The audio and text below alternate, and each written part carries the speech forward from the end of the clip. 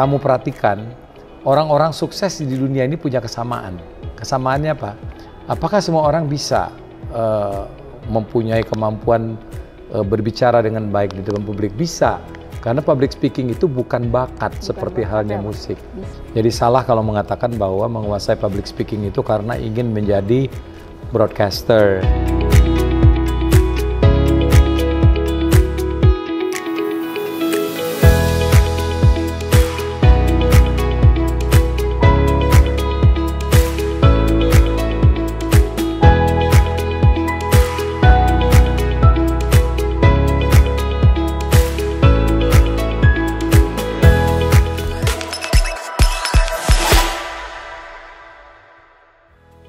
Sobat Esensi, baik lagi nih eh, masih sama Bapak Tantowi Yahya. Kali ini kita mau sedikit tanya-tanya tentang public speaking.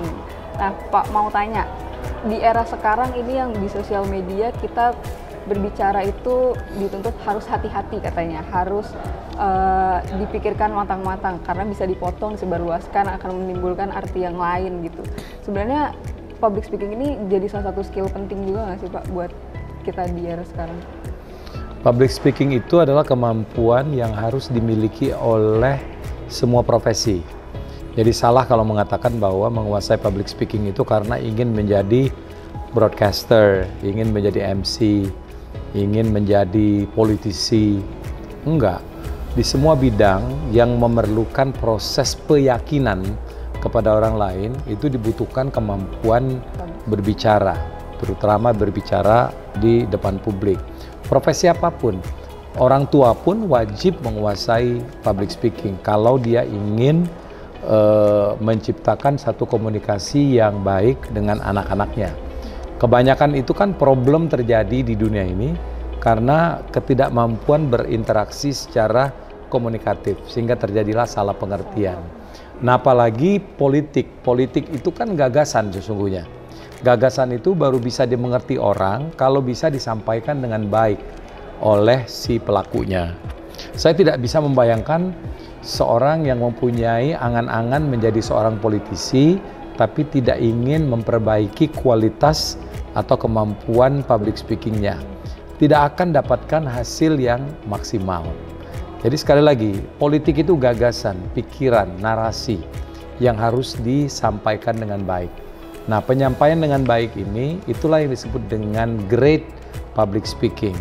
Apakah semua orang bisa uh, mempunyai kemampuan uh, berbicara dengan baik di depan publik? Bisa. Karena public speaking itu bukan bakat bukan seperti bakat, halnya musik. Bisa di, tapi dia ilmu, ilmu pengetahuan. Nah, karena dia ilmu bisa dipelajari. Selama dia ingin belajar, ya insya Allah dia akan bisa. Ini uh, penonton kita ini kan banyak kan generasi muda nih Pak yang uh, masih takut sama yang namanya public speaking ngomong di depan orang itu berat banget untuk generasi muda. Mungkin uh, karena dia sehari-harinya berhubungan dengan sosial media yang tidak tatap langsung juga. Sebenarnya tipsnya gimana sih Pak di, di awal kita supaya berani dulu nih gitu untuk uh, public speaking? Pertama itu harus ada kemauan dulu gitu. Ya, kemauan itu bisa disebabkan oleh kebutuhan atau bisa juga karena kesadaran. Kalau saya melihat lebih bagus dibangun dari kesadaran dulu. Harus ada kesadaran bahwa karir saya apa pun itu akan sukses apabila ditopang oleh kemampuan public speaking. Ya, uh, kalau kamu perhatikan orang-orang sukses di dunia ini punya kesamaan. Kesamaannya apa? Mereka semuanya bisa berbicara di depan publik ya. Nah itu harus dijadikan semacam tujuan bahwa saya ingin sukses. Salah satu syarat untuk menjadi sukses itu adalah menguasai kemampuan public speaking. Nah itu kan kesadaran. Nah kalau kebutuhan itu ya dia butuh aja gitu loh karena uh, dia tahu betul bahwa karirnya itu susah untuk moncer karena pendiam. dia pendiam karena uh, gagap dalam berbicara, karena bicaranya tidak jelas.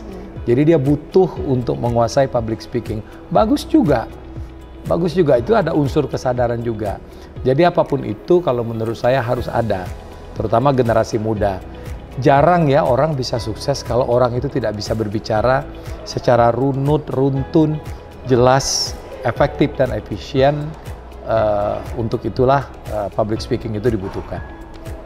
Oke, itu tadi sobat esensi. Jadi kalau misalkan uh, sobat esensi ingin sukses, pesan dari uh, Bapak Tanto Yahya asahlah uh, skill public speaking karena itu akan berguna di semua profesi nggak cuma politikus nggak cuma broadcaster tapi di semua prof profesi terima Betul. kasih banyak ya. Bapak Terima kasih Linda Terima kasih Sobat Esensi, jangan lupa like dan komen video kita yang lain. Follow juga sosial media kita, ada di Instagram at TV, jangan lupa di follow. Dan tunggu video-video selanjutnya. Ya, ya.